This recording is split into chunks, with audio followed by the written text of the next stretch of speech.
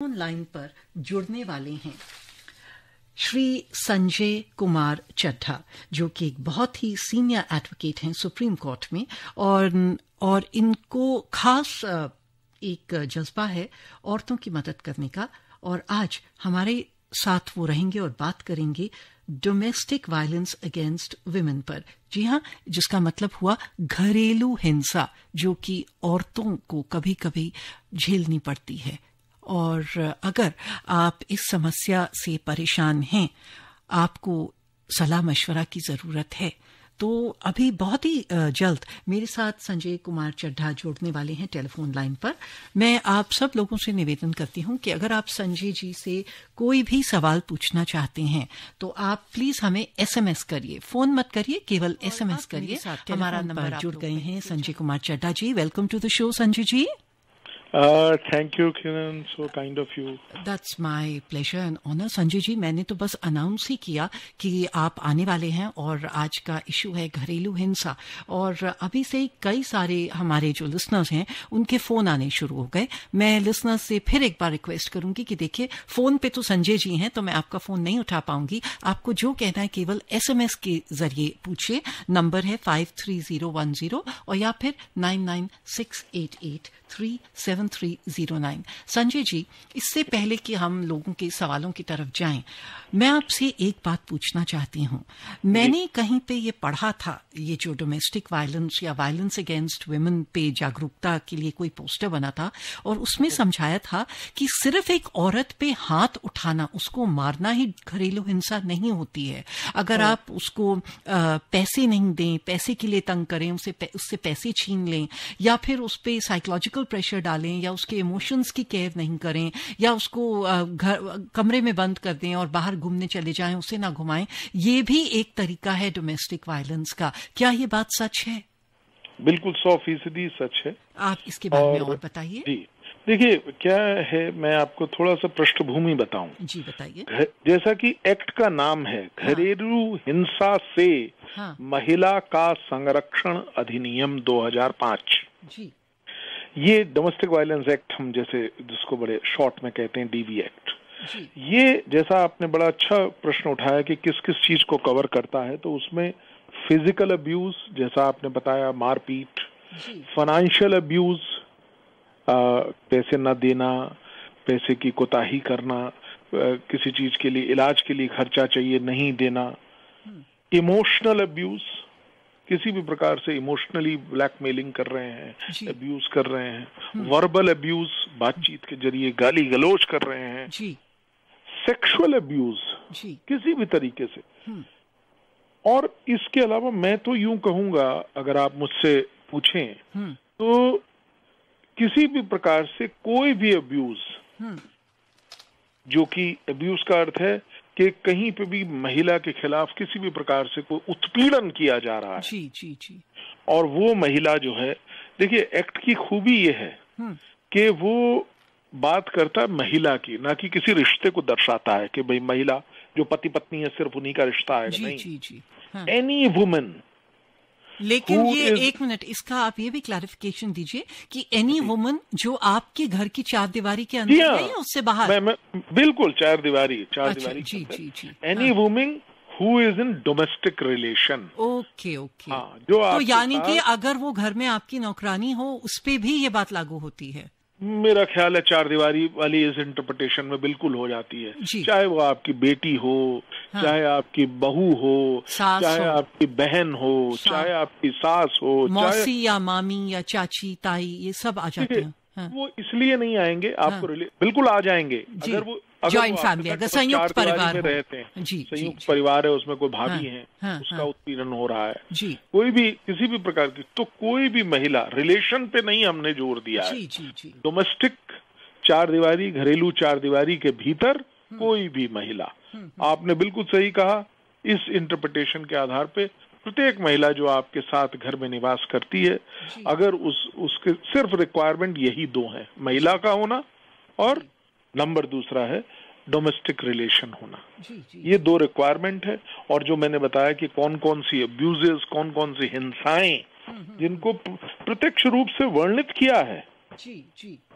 कानून में physical abuse financial abuse emotional abuse verbal abuse sexual abuse ये सारे वर्णित किए हैं जी और उनको एक्सप्लेन किया है जी, और जी, किसी भी प्रकार का कोई हरेसमेंट होता है हाँ। कोई अब्यूज होती है तो चैप्टर तीन है कानून का। इस डीबी हाँ। एक्ट जो मैंने बताया घरेलू हिंसा से महिलाओं का संरक्षण अधिनियम 2005 जो कि 26 अक्टूबर 2006 से लागू है हमारे देश में। जी। ये आईपीसी के एडिशन में है।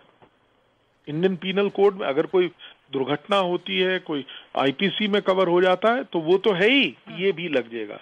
इन एडिशन है ये। जी जी जी। तो अच्छा इसमें मैं आपसे एक और बात पूछना चाहती हूँ हाँ। कि देखिए अब हम इक्कीसवीं सदी में आ गए हैं और बहुत कुछ हमारे समाज में हो रहा है जिसे हमें एक्सेप्ट करना पड़ेगा और मेरा इशारा है लिव इन रिलेशनशिप्स में। तो अगर कोई लिव इन रिलेशनशिप में है वो लीगली मैरिड नहीं है और अगर वो आदमी उस लड़की पर औरत पर अत्याचार करे तो क्या ये वो भी शिकायत कर सकती है डोमेस्टिक वायलेंस की?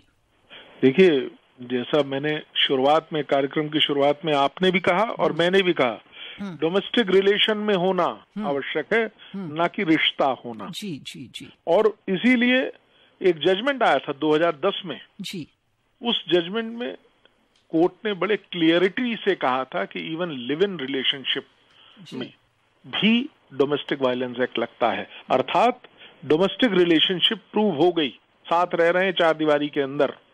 इतना बहुत है जी, जी, और जी. चाहे कोई भी रिश्ता हो और आपने बहुत प्रासंगिक तरीके से कहा हाँ। कि क्या डोमेस्टिक हेल्प भी इसमें शामिल है हाँ। मैं इस पे कोई जजमेंट नहीं है लेकिन मैं सौ प्रतिशत कन्फर्म हूँ नहीं क्योंकि मैं आपसे इसलिए खास तौर से पूछ रही हूँ क्योंकि अभी मैंने हिंदुस्तान में तो नहीं सुना है लेकिन ये सुना था मैंने कि कई बार लोग जो खाड़ी के देशों में रहते हैं वो हाँ। यहाँ हिंदुस्तान आते थे और औरतों को ले जाते थे कि आओ हम तुम्हें वहाँ काम देंगे और अपने घर में उसे आया के तौर पर रखते थे कि हमारी सेवा करो बच्चे की और ये रोती हुई वहाँ से आई है वापस हिंदुस्तान हाँ, हाँ। कि हमको वहाँ पे मारा पीटा गया हमें खाना नहीं मिला। सेक्सुअल एब्यूजेस भी हुई हैं इमोशनल एब्यूजेस भी उनके साथ होती रही जी, जी, जी. और ये इस तरह का अगर कोई आ, मामला यहाँ पे होता है तो हम्म। उसको भी बड़ी सरलता हम्म। अंतर्गत लिया जा सकता है एक देखिए इस कानून की एक ब्यूटी मैं बताना चाहूँगा चैप्टर थ्री जिसमें बहुत प्रबलता के साथ एक महिला जो कि दुखी है जो कि सहन कर रही है उसको एक एप्लीकेशन मूव करनी होती है प्रोटेक्शन ऑफिसर के अपॉइंट करने के लिए। और कोर्ट पहली डेट पे ही प्रोटेक्शन ऑफिसर अपॉइंट कर देता है।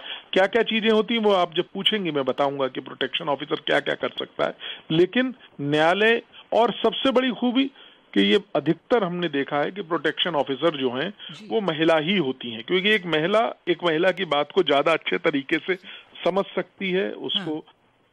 निर्वाह कर सकती है उसकी मदद कर सकती है। जी जी जी। तो ये बहुत महत्वपूर्ण चीज़ है। अच्छा संजय जी यहाँ पे मैं आपको बताना चाहूँगी कि जब आप ये सारी बातें कर रहे थे मेरे पास इतने सारे फ़ोन आए हैं आदिल निवादा का सुनील कुमार यादव का आ, फिर कोई है पुष्कर राणा इंतखाब है रामपुर से बबलू सिंह घर एलपी, करण सिंह, ये सब फ़ोन कर रहे हैं और मैं आप लोगों से बार बार कह रही हूँ कि जब तक संजय जी मेरे साथ टेलीफोन लाइन पर हैं, मैं इनसे बात कर रही हूँ, मैं आपकी कॉल रिसीव नहीं कर सकती हूँ। आप प्लीज़ केवल एसएमएस करिए और संदेश टाइप करके मुझे एसएमएस कर दीजिए five three zero one zero पर, या ये नंबर जिस पे आपने कॉल किया, मैं संजय जी से आपका सवाल पूछ लूँगी, क्योंकि ये एक बहुत ही सेंसिटिव इशू है घरेलू हिंसा, और मेरे ख्याल से संजय जी, ये ऐसा एक समाज पर धब्बा है जो कि कोई स्टेटस या क्लास बैरियर्स नहीं देखता है। ये lowest strata of society economically lowest strata of society से लेके एकदम ऊपर तक भी जा सकता है। क्या मैं सही बोल रही हूँ? बिल्कुल सही आपने फरमाया। तो इसमें इट सीज नो बैरियर हर हर हर स्टेट ऑफ़ सोसाइटी के केसेस। हमने देखे हैं जी और ये बिल्कुल बैरियर नहीं है हम्म। और कि एक ही नीचे के तबके के या ऊपर के तबके के या मध्यवर्गीय हर जगह के इस तरह के केसेस हमने देखे लेकिन अफसोस ये है संजय जी कि कई औरतें जो हैं आ, मैं आप चाहती हूँ कि आप ऑन एयर उनको जरा उनका एक जो साइके है जो एक उनका एटीट्यूड है उस पर आप ज़ोर दीजिए और उनको काउंसिल करिए। कई औरतें कहती हैं कि ये जो घर की बात है ये घर के अंदर घर ही रहनी चाहिए। अगर हमने अपना मुँह खोला तो घर की बदनामी होगी हमारे आदमी की बदनामी होगी ये कई बार लड़कियों पर औरतों पर यह दबाव डाला जाता है कि अगर अब तुमने अपना मुँह खोला तो हाँ। इसमें तुम्हारी बदनामी ज़्यादा है आदमी की कम। ये ऐसे बोला जाता है। फिर ये पुराने जमाने से जो बातें चली आती हैं हमारी रीजनल भाषाओं में भी कई कहावतें हैं। यूपी में भी कहावत है कि औरत अगर एक तरफ़ से अपनी उठाएगी वस्त्र तो एक जांग दिखेगी दूसरी तरफ़ से उठाएगी तो दूसरी। तो तुम अपना ही प्रदर्शन कर रही हो। ये हाँ। समस्या तुम्हारी नहीं सुलझने वाली है। तो ये आप कैसे इन लोगों को समझाएँगे? देखिए किरण जी ये बहुत डीप रूटेड प्रॉब्लम है। जी। देखिए सबसे महत्वपूर्ण जो है जैसा मैंने आपको बताया और मैं पहले भी इस विषय पे जब भी बात करता आया हूँ मैं हमेशा बोलता हूँ कि ये क्योंकि हम लोग पेट्रियाकल सोसाइटी की में आगे बढ़ रहे हैं। और कोई भी व्यक्ति जो है ये नहीं सहता कि महिलाओं को ज़्यादा अधिकार मिले। जैसे चल रहा है वैसा चले अगर पुरुष से आप पूछें। लेकिन सच्चाई यही है कि आज महिलाओं और पुरुषों में कोई भिन्नता नहीं है हमको देखना पड़ेगा। आप देखिए आज अगर हम देखें तो उच्च पदों पर महिलाएँ बैठी हुई हैं। इसके अलावा इकोनॉमिक फोरम पे इकोनॉमिक फ्रंट्स पे महिलाएँ बहुत अच्छा कर रही हैं। उसको मुझे बताने की आवश्यकता नहीं है। हाँ। लेकिन कानून जो है वो महिलाओं के फेवर में पूर्णतः टिल्टेड है पूर्णतः स्टेब्लिश्ड है पूर्णतः बताता है कि कहीं पे भी अगर किसी महिला को कोई भी उत्पीड़न होता है किसी भी प्रकार का कोई अब्यूज होता है हम्म। किसी भी प्रकार की कोई हिंसा होती चाहे वो हम्म। घरेलू हो और बाहर के लिए तो हमको मालूम है ऑफ़िस में 2013 का एक्ट है। वो तो है ही ऑफ़िस वाला लेकिन आज का क्योंकि कार्यक्रम केंद्रित है घरेलू हिंसा पर तो मैं उसी पे ज़ोर देना चाहूँगा कि घर में किसी भी प्रकार की physical financial emotional verbal sexual किसी भी प्रकार का अगर अब्यूज होता है तो कोर्ट को पहले सबसे जो अच्छी बात है हम्म। कि जो मैंने बताया आपको मैं चैप्टर तीन में मैंने आपको बताया था कि प्रोटेक्शन ऑफिसर का अपॉइंटमेंट होता है हम्म। अगर प्रोटेक्शन ऑफिसर अपॉइंट हो जाता है पहली डेट पे ही। होता आया है ऐसा हम देखते हैं। तो वो जो लेडी है वो इमीडिएटली आपको सुरक्षा दिलवाती है। किसी भी प्रकार का जो उत्पीड़न उसको एकदम रुकवाया जाता है। हर प्रकार से चाहे वो मॉनेटरी रिलीफ हो किसी हम्म। महिला को पैसे ना मिल रहे हों तो वो मॉनेटरी रिलीफ इतनी तत्परता से मिलता है इतनी तेज़ी के साथ मिलता है हम्म। कि ये कानून यही इस कार्यक्रम इस कानून की विशेषता भी है मैं ये कहूँगा आपको। और चाहे वो बच्चों की कस्टडी हो हम्म, उससे रिलेटेड हम्म। है इमीडिएटली। इसके अलावा एक और बड़ा इम्पोर्टेंट बात है रेजिडेंशियल हम्म। ऑर्डर पास होते हैं। जैसे मैंने बताया ना मैंने आपको बताया मॉनिटरी रिलीफ या मॉनिटरी ऑर्डर हो कस्टडी का ऑर्डर हो इसी प्रकार से एक है रेजिडेंशियल ऑर्डर जिसे कहते हैं। यानी कि घर में इमीडिएटली और हमने कई केसेस में एक्स पार्टे पहली डेट पे रेजिडेंशियल ऑर्डर लिए हैं। हम्म, हम्म, हम्म। यहाँ पे एक महिला को यदि पुरुष ने घर से निकाल दिया है तो जो ऐसी ये बड़ा कॉमन है मैं आपसे बताऊँ। और जब निकाल दिया है तो इमीडिएटली कोर्ट ने आदेश दिया कि उसी घर में चाहे वो घर में उस महिला का के नाम है या नहीं है? जैसे अभी आपने बताया लिव इन रिलेशन जी जी जी. बॉम्बे का एक केस था उसमें लिव इन रिलेशन में थे और उस महिला को निकाल दिया कोर्ट ने ऑर्डर किया पुरुष वहाँ रह रहा है क्योंकि ये जो घर है हम्म। वो दोनों वहाँ इकट्ठा रह रहे थे वहाँ जहाँ लास्ट लिव्ड है टुगेदर वहीं पे दोनों को वापस बसाया जाएगा दोनों को वहीं भेजा गया जबकि हाँ। वो घर किराए का था उस आदमी ने कहा मैं किराया नहीं दूँगा। कोर्ट हाँ। कोर्ट ने क्योंकि हर तरह की चालाकी करते हैं। जब एक मन में एक मन में उनके द्वेष आ जाता है मन में उनके गलत व्यवहार आ जाता है तो उसको देखते हुए सरकार जो कोर्ट है हाँ। उसने बहुत क्लियरिटी से ऑर्डर किया कि ये हाँ। वहीं रहेंगी हाँ। और आप ही किराया देंगे अगर नहीं देंगे तो कंटेम्प्ट ऑफ़ कोर्ट होगा अच्छा तो, यहाँ पे आपने जो कहा कुछ मेरे दिमाग में एकदम से एक दो किस्से आए हैं जो कि वेरी अनफॉर्चुनेट है कुछ हम्म। ऐसे किस्से हुए हैं जिसमें औरत को चाहे वो कोई भी रिश्ता रहा हो औरत हम्म। को मारा पीटा गया है एक आदमी ने मारा है और उसके साथ उस आदमी का साथ साथ दिया एक औरत ने आदमी और औरत ने मिलकर औरत पे वार किया या उसको परेशान किया तो इसमें आ, आ, किस तरीके का केस बनता है देखिए जैसा मैंने आपको बताया कि ये किसी भी रिलेशनशिप में डोमेस्टिक हम्म। रिलेशनशिप में फिर से मैं कह रहा हूँ वुमेन हम्म। का अगर किसी भी तरीके से उत्पीड़न हुआ है। हम्म। तो जिसने उत्पीड़न किया है जैसे वो पुरुष है उनके साथ एक महिला भी है तो उसका भी वर्णन करके उसके खिलाफ भी शिकायत की जा सकती है। और इसके अलावा ये एक्ट जो डीवी एक्ट है ये आईपीसी से अलग है। जैसे पिटाई की बात हुई दो लोगों ने पीटा आप आईपीसी की धारा भी लगेगी और डोमेस्टिक वायलेंस एक्ट में सेक्शन 12 में आप कंप्लेंट भी कर सकते हैं। तो आईपीसी की धारा में जिसमें कि तमाम जो ऑफेंसेस हैं वो ऑलरेडी डिफाइंड है वो तो लगेंगी ही लगेंगी। साथ ही डोमेस्टिक वायलेंस एक्ट भी लग जाएगा। तो इसलिए बचने का दूसरी चाहे वो महिला हो क्यों ना हो हम्म। उसको बचने का कोई भी मौका नहीं मिलता है। हम्म। कानून की व्यवस्था बहुत जटिल है बहुत कठिन है उस हम्म, ऐसे व्यक्ति के प्रति। जी।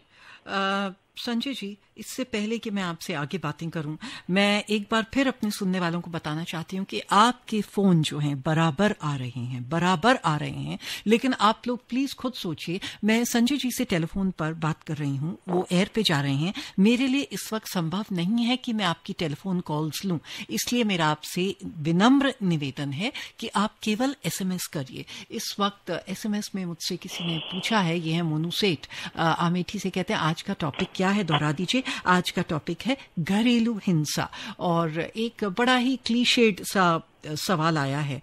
ये मेरे ख्याल से इसका तो जवाब पूरे प्रोग्राम में ही मिल जाएगा कि घरेलू हिंसा को कैसे रोका जा सकता है। संजय जी और भी बहुत कुछ बातें आपको बताएँगे लेकिन प्लीज़ मैं आपसे फिर कह रही हूँ कि एसएमएस करिए तभी मैं उनको पढ़ पाऊँगी और संजय जी से आपका सवाल पूछ पाऊँगी जब तक कि आप एसएमएस करते हैं और संजय जी थोड़ी सी सांस लेते हैं। मैं चला देती हूँ एक गाना और देखिए एक दौर ऐसा भी था जब आदमी लोग औरतों का शुक्रिया कहते थे कि बहुत शुक्रिया आप मेरी ज़िंदगी में आए। परेशान संजय कुमार चड्डा जी का जो कि सुप्रीम कोर्ट में एक सीनियर एडवोकेट हैं and he is the champion for women's rights and their causes और इस वक्त वो आ, हमको सलाह मशवरा दे रहे हैं घरेलू हिंसा के लिए कि अगर आप घरेलू हिंसा के शिकार हैं या आप जानते हैं कि किसी को परेशानी हो रही है घरेलू हिंसा से तो आप कैसे उन तक मदद पहुँचा सकते हैं?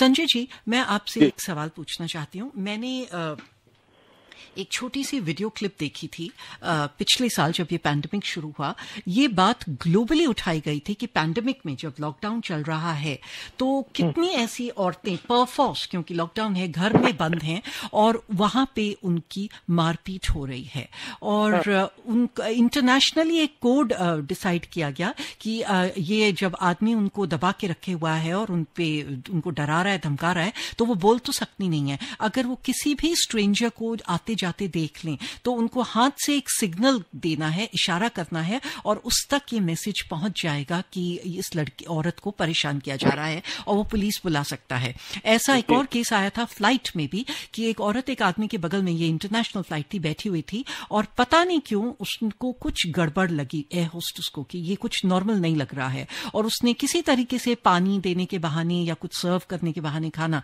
उसको अलग से बुलाया और फिर उससे जल्दी से उसका नंबर वंबर ले लिया और एयरपोर्ट पे पहुँचते ही एयर होस्टेस ने शिकायत कर दी थी और वो सच में काफ़ी सीरियस केस था that woman was being abused by the husband and legal help came to her तो पुलिस केम तो इस आप यहाँ पे औरतों को और जिनको परेशानी हो रही है और जो लोग देख भी रहेंगे तमाशा, उनको क्या एडवाइस देना चाहेंगे कि can they reach out through the signals एक इशारा करते हैं कि देखो मुझे इस तरीके से परेशानी हो रही है और आप जो पड़ोसी हैं जो बेबस देख रहे हैं वो क्या कर सकते हैं? Can you just guide us दो चीज़ें। हम्म। दो महत्वपूर्ण चीज़ें हैं हम्म। इसमें।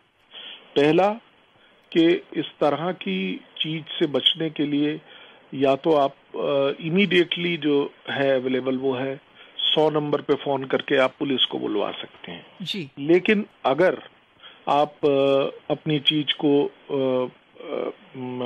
दुनिया के सामने नहीं लाना चाहते हैं शांति से खुद ही करना चाहते हैं जैसा कि एक मनों में लोगों के भ्रम पहले से ही बिठा दिया जाता है कि पता नहीं क्या हो जाएगा हम्म। अगर पुलिस आएगी तो ऐसी परिस्थिति में एक आप अगर नेट पे जाएँगे तो एक टोल फ्री भी एक पोजीशन है हम्म। वहाँ पे आप चैटिंग के ज़रिए। गूगल में डालें अगर आपके डोमेस्टिक वायलेंस है और वहाँ पे आप देखेंगे कि दो तीन एनजीओ हैं। जी। और शायद जो महिला बाल कल्याण विभाग है उन्होंने भी एक चैट नंबर दिया हुआ है जहाँ पे गूगल से जाने पे आप हाँ। उन लोगों से वहाँ पे एक्सपर्ट महिलाएँ बैठी होती हैं जो आपको गाइड कर देती हैं। और बिल्कुल सौ प्रतिशत आपकी जो चीज़ है उसको बिल्कुल सुरक्षित तरीके से बात किया जाता है और आपको बताएँगे कि क्या आपको करना चाहिए जी तो ये एक नई सुविधा शुरू हुई है और जैसा कि आप बता रही थी कि शुरुआत में कि ड्यूरिंग ये जो कोरोना काल में जबकि संभवतः पुरुष और महिला दोनों घरों में ही बैठे हुए हैं तो ज़्यादा चांसेस हैं और उसकी ज़्यादा स्वरूप में जो घरेलू हिंसा है वो सामने आई है तो हम्म। इसमें दो राय नहीं है बिल्कुल सच्चाई है ये हम्म। और उसका कारण भी हम लोग अभी पढ़ भी रहे थे एक पेपर भी हमने लिखा था उसमें हम्म। और एक एनालिसिस भी हमने देखा था उस एनालिसिस में तकरीबन जो घरेलू हिंसा पहले अगर 100 होती थी अब 180 होती हैं oh यानी कि अर्थात दुगनी हो गई हैं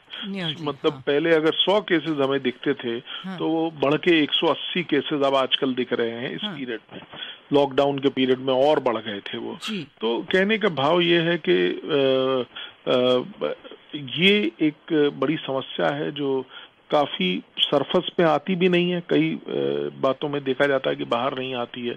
लेकिन एक्चुअल में ये प्रॉब्लम परसिस्ट करती है। तो जैसा आपने बताया कि आपके पड़ोसी या कोई भी व्यक्ति जो आपको मिलता है, वो आपकी मदद कर सकते हैं। पुलिस है और ये हेल्पलाइन नंबर्स हैं। यहाँ पे आप बात कर सकते हैं। चैट कर सकते हैं गाइडेंस ले सकते हैं कि कैसे इस चीज़ से संभवतः बचा जा सके। अच्छा Sanjay ji let's be very practical and let's be very realistic हर चीज़ के दो पहलू होते हैं। They are always two sides of the coin यहाँ पे आप इस बात को नकार नहीं सकते हैं कि कई ऐसी औरतें हैं जो बहुत पढ़ी लिखी हैं बहुत समझदार हैं और उनको कानून अच्छी तरीके से पता है। और यहाँ पे कुछ ऐसे मामले आए मैं एक जनरल स्वीपिंग स्टेटमेंट नहीं दे रही हूँ कुछ एक मामले आए हैं जहाँ पे आदमी लोग रोते हुए आए हैं और कहा है कि ये जो शिकायत की गई है ये बेबुनियाद है मुझे फंसाने की कोशिश की गई है और ये इस लॉ का सिर्फ़ नाजायज फ़ायदा उठा रही हैं। और ये आपने जो बात कही डोमेस्टिक वायलेंस की कि अगर आप इमोशनली तंग करें फाइनेंशियली तंग करें साइकोलॉजिकली तंग करें तो ये भी घरेलू हिंसा है। तो इस पे कुछ ऐसी जो some women are pretty educated और काफ़ी बोल्ड और दबंग हैं वो भी चढ़ जाती हैं कि यू you नो know, अगर तुम मेरे तरीके से ये घर का डेकोर नहीं करवाओगे या अगर मुझे यहाँ घुमाने नहीं ले चलोगे या मेरे पे इतना यू नो पचास लाख रुपए की शॉपिंग नहीं करवाओगे तो मैं भी ये केस लगा दूँगी कि ये तुमने मुझे तंग किया। तो आप जरा यहाँ पे बता देंगे देखेंगे कि कितनी बातों में हम दायरे में रहें और इसी को समझें क्योंकि फिर ऐसे तो मियाँ बीवी में शायद तनाव मियाँ बीवी नहीं मैं तो कहती हूँ घर में अगर एक लड़की भी अपने हाँ। पिताजी से एकदम से कह दे कि you please you know send me for a trip to Europe वो अफोर्ड नहीं कर सकते हैं उन्हें किसी और हाँ। काम के लिए तो कहीं वो लड़की ना चौड़ी हो जाए कह दे कि मैं तो ये डोमेस्टिक वायलेंस का केस लगा दूँगी तो, देखिए हम्म। आपका ये इस तरह की बातें भी सामने हमने आती देखी हैं झूठे मुकदमों की आ, और सीरीज़ ऑफ़ ऐसे केसेस हमने देखे हैं नो डाउट अबाउट इट लेकिन जो एक इस में जो पहलू है सबसे अहम हम्म। वो ये है कि देखिए ये जो समस्या है ये प्राइमरली मुझे ऐसा लगता है जो जो ये डोमेस्टिक वायलेंस की समस्या है एक्चुअल सेंस में हाँ. ये अगर बैठ के खुले मन से दोनों पक्ष बात करें जी। तो ये समस्या बचती नहीं है ये समाप्त हो जाती है बिल्कुल ये कटु सच्चाई है कि अगर आप बातचीत नहीं करेंगे थोड़ा सा अकोमोडेटिव नहीं होंगे तो वो आगे बढ़ेगी नहीं अगर हाँ। एक साइकिल है तो उसमें एक साइकिल का पहिया और एक स्कूटर का पहिया लगा के नहीं चला जा सकता जी, जी, जी. दोनों ही पहिए साइकिल के ही होने चाहिए अर्थात हाँ। दोनों लोगों को बैलेंस करके चलना होगा हम्म, पहली हम्म, चीज़ हम्म। दूसरी चीज़ जो आपने बताया misuse of this act जी निश्चित तौर पे इस एक्ट का भी बाकी जो कानूनी व्यवस्थाएँ हैं जिस प्रकार से मिसयूज होती हैं हम्म। क्योंकि ये बड़ा ही प्रैक्टिकल है इसमें भी देखिए ना जो कानून की व्यवस्था है वो सीधे यही कहती है कि जो एक महिला आती है हम्म, हम्म। और वो कहेगी उस पे आ, उसको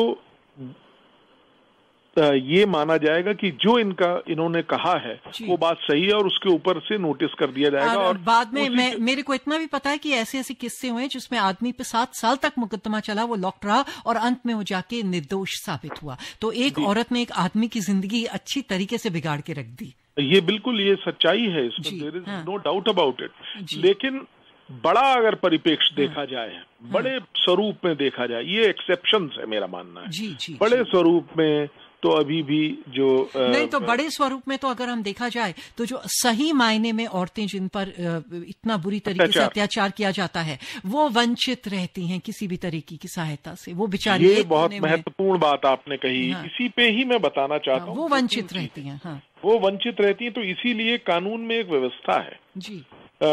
जो सरकार है उसको ये कानून में लिखा गया देखिए कि आपको इस कानून की व्यवस्था को इस पूरे लॉ को कि क्या इसका मोटिव है क्यों इसका मुख्य उद्देश्य क्या है उस उद्देश्य को जन जन तक पहुंचाना है प्रचार माध्यमों के ज़रिए पहली चीज़ और देखिए इस कानून का मतलब सिर्फ़ ये नहीं है कि पुरुष को आपने फंसा देना है नहीं जी, जी. इसी में एक सेक्शन चौदह है बड़ा महत्वपूर्ण है इसको सुनिए आप हम्म।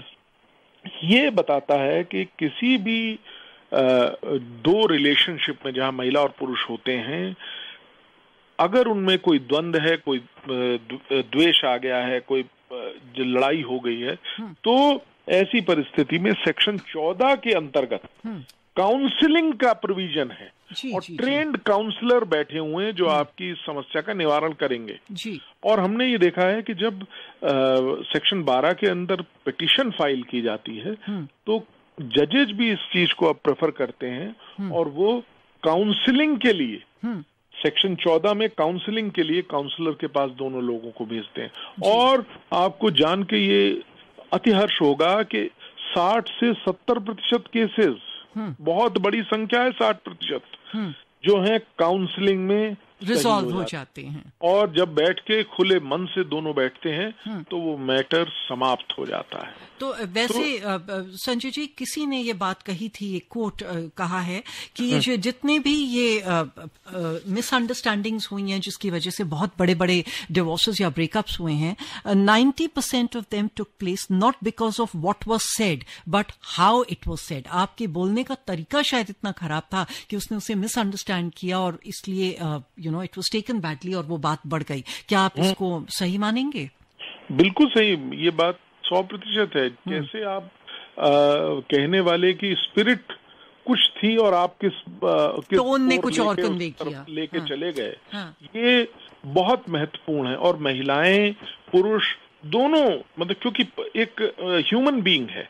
ह्यूमन हाँ, बीइंग न जाने किस टेंजेंट पे आप चले जाएँ तो वो गलत है। इसलिए ये काउंसलिंग का एक बहुत महत्वपूर्ण रोल है जैसा मैंने आपको बताया।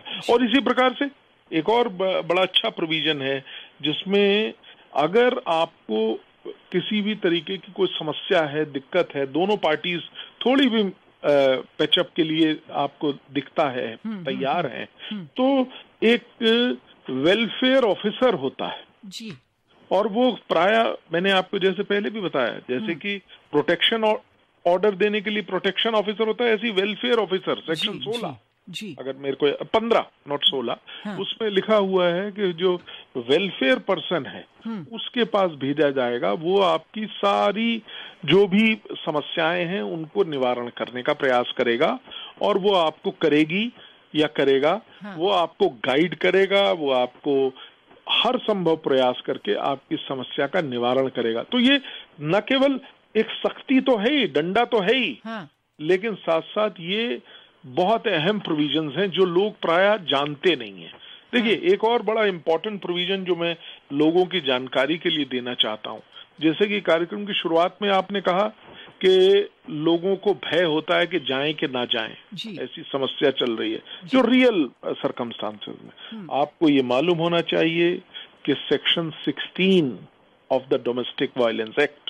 ये प्रोवाइड करता है इन कैमरा प्रोसीडिंग्स के लिए अगर आप चाहें आप जज साहब से कह दें कि मैं ये चाहती हूँ कि मेरे केस को आप अलग से सुने अच्छा, तो अच्छा। आपके केस को इन कैमरा कोई और रहेगा नहीं सिर्फ़ आप जज और जो अदर साइड जो जी, आपके हस्बैंड हैं या आपके और जो पुरुष हैं जिनके हाँ. साथ मुकदमा है जो आपके साथ डोमेस्टिक रिलेशन में है हाँ. उनके साथ सिर्फ़ वही तीन चार लोग बैठ के उस मुकदमे को समापन की ओर ले जाएँगे। तो बहुत अच्छे अच्छे प्रोविज़न है इस एक्ट में। और ये जो एक्ट है ये बहुत ही डायनेमिक और फ्यूचर ओरिएंटेड एक्ट है अर्थात क्योंकि ये देखा जा रहा है कि अब जो है दोनों जो लोग हैं महिला और पुरुष साथ कंधे से कंधा मिला के आगे बढ़ रहे हैं। ऐसी परिस्थितियों में ऐसे डायनेमिक एक्ट्स की ऐसे मज़बूत लॉस की आवश्यकता है। जी, जी, और वही उसी उसमें कि सारी चीज़ें न्यायोचित तरीके से हों सारी चीज़ें इतने बेहतरीन तरीके से हों कि दोनों पक्ष खुश रहें।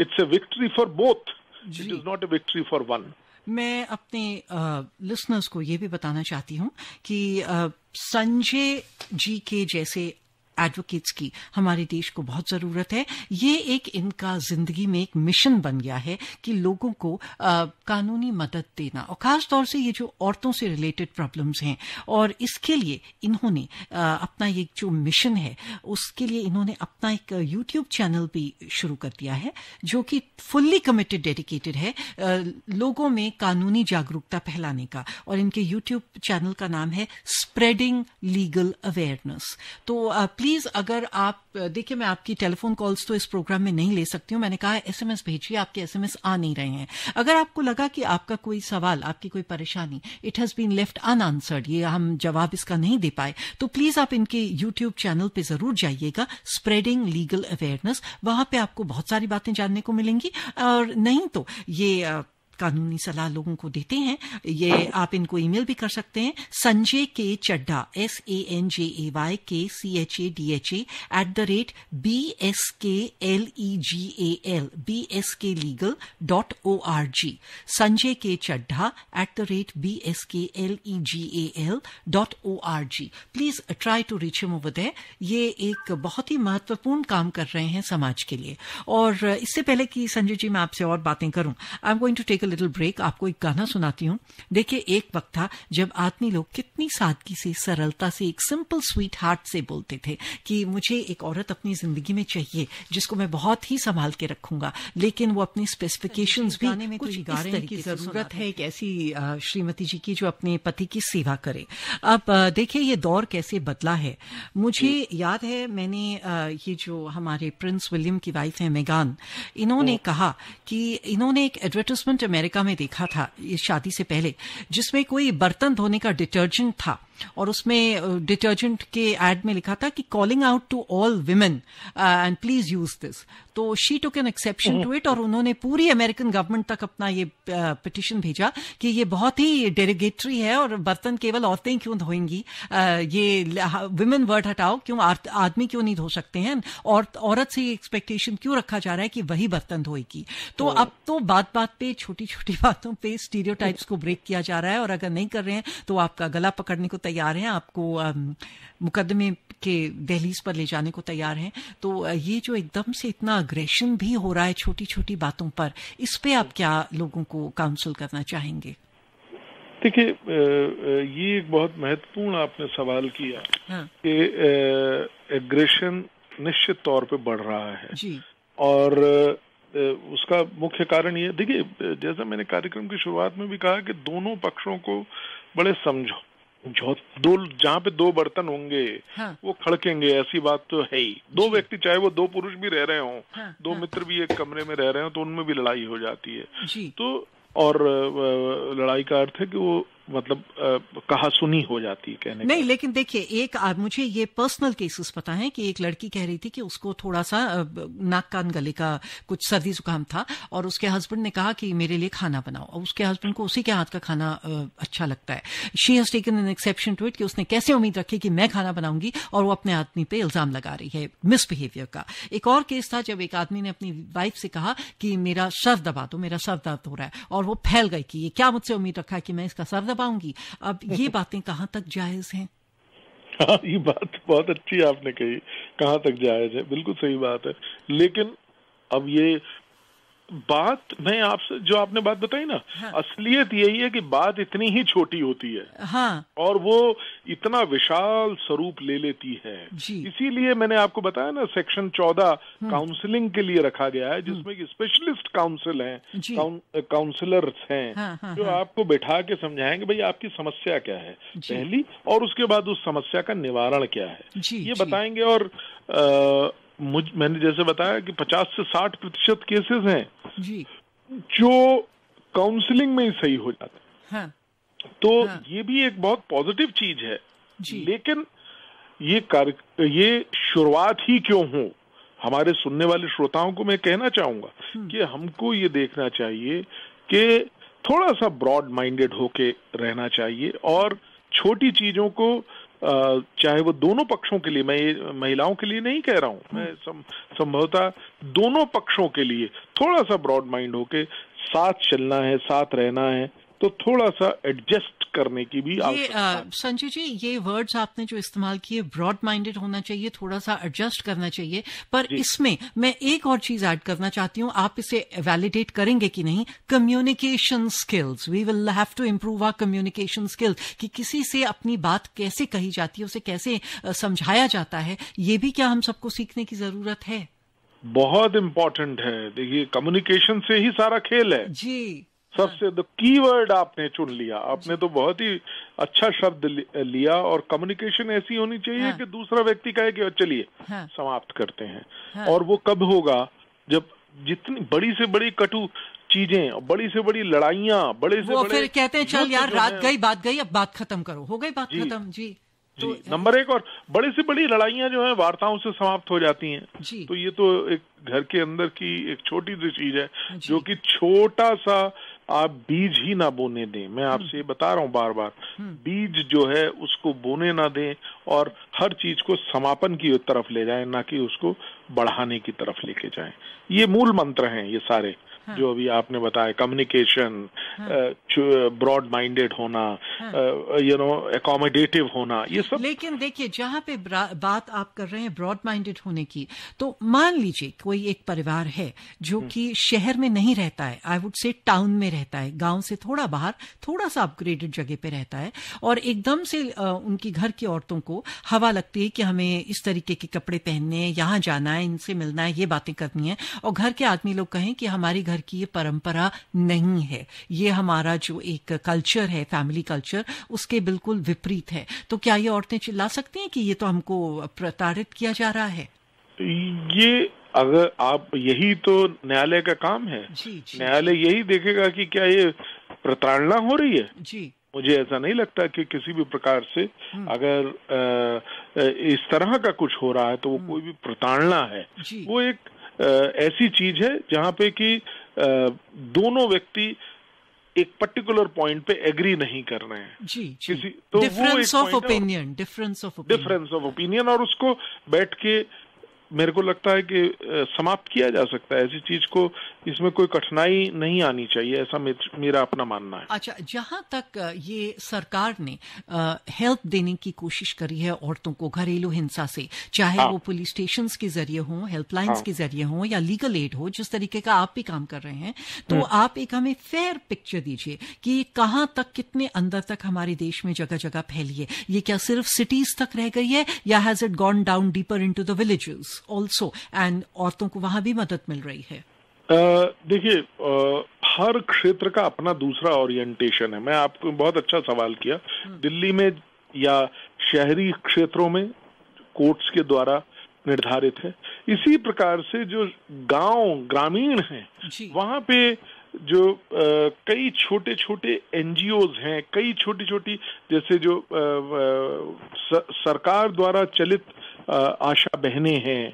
या ये लोग हैं ये एक बड़ा की रूप अडॉप्ट करते हैं। ये बहुत ही इम्पोर्टेंट रोल अदा करते हैं। हम्म। ये महिलाओं को मजबूती देने के लिए छोटी छोटी इन इनके ज़रिए महिलाएँ ही जाके उन महिलाओं से मिलती हैं और रेगुलरली उनको अंडरस्टैंड कराती हैं क्योंकि और वो उन्हीं की भाषा में बात करती हैं उन्हीं के स्तर की होती हैं। और स्तर का मतलब मेरा कहने का ये है कि उनके स्तर पे जाके मेंटल वेवलेंथ जो है। मेंटल वेवलेंथ मिला के और कम्युनिकेशन लेवल एक उस लेवल पर है। जी हाँ और इससे बड़े बड़े मुहिम हुए हैं। आप ये देखिए हमने देखे हरियाणा के मैं उदाहरण दे रहा हूँ आपको। हरियाणा के गाँव में कुछ एक गाँव थे जहाँ पे शराब के नशे की वजह से पुरुष शराब पीता था और रोज जो है घरेलू हिंसा होती थी इन सारी महिलाओं ने अपने और ने मिलके एक ऐसा कार्यक्रम चलाया उस हम्म। पूरे गाँव में हम्म। और वहाँ से शराब की दुकानें बंद करी हाँ। तो ऐसी बात नहीं है सशक्तिकरण भी हुआ इन महिलाओं का और वो समस्या दूर हुई और उस समस्या के दूर होने से वो परिवार पूरे गाँव के जो है फिर से हंस खेल रहे हैं और सुरक्षित हैं तो एक दूसरा परिपेक्ष है लेकिन आपने क्योंकि पूछा तो मैंने जवाब दिया इसका कि ये हमारे सामने उदाहरण है तो ऐसे अगर आप मन में ठान ले कि ये करना है हम्म। तो कठिनाई नहीं होगी हम्म। और कानून की व्यवस्था जहाँ तक कि घरेलू हिंसा की बात है जो आज का हमारा मुख्य टॉपिक है हाँ। उस पर मैं बताऊँ कानून की व्यवस्था निश्चित तौर पे महिलाओं के फेवर में बनी हुई हैं। हमने देखा कि किस प्रकार से चाहे वो मॉनेटरी रिलीफ हो चाहे वो रेसिडेंशियल रिलीफ ऑर्डर हो कंपनसेशन का ऑर्डर हो कस्टडी का बच्चे का कस्टडी का ऑर्डर हो इन तमाम जगहों पे जो है महिलाएँ नए कानून जो कि 2005 में आया था 6000 2006 से हम लोगों ने उसको देखा था कि वो एप्लीकेबल हो रहा था।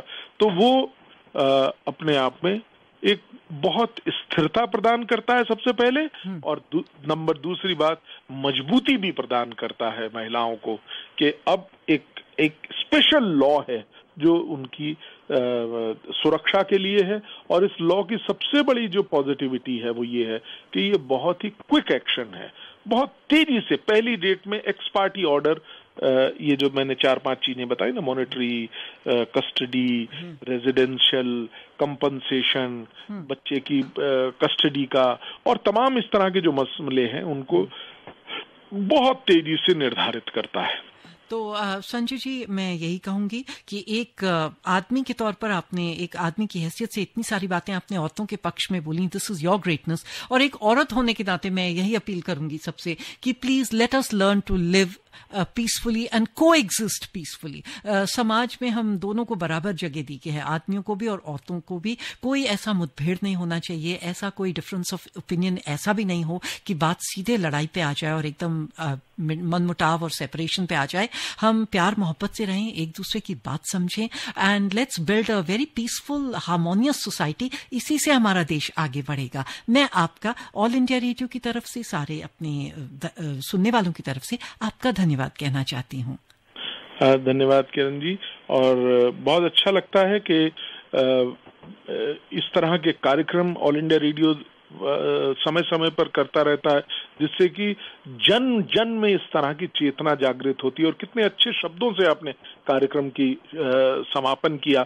मैं आपको भी इसकी बहुत बहुत बधाई और एक छोटी सी रिक्वेस्ट है लिसनर से जिनके प्रॉब्लम्स हम लोग नहीं ले पाए उनके फ़ोन कॉल्स के ज़रिए। आप प्लीज़ इनसे कनेक्ट करिए। संजय कुमार चड्डा जी से, ये सीनियर एडवोकेट हैं सुप्रीम कोर्ट में, और इनके यूट्यूब चैनल पर चले जाइए, जिसका नाम है स्प्रेडिंग लीगल अवेयरनेस आपका एक बार फिर तहे दिल से शुक्रिया। Thank you very much thank you very much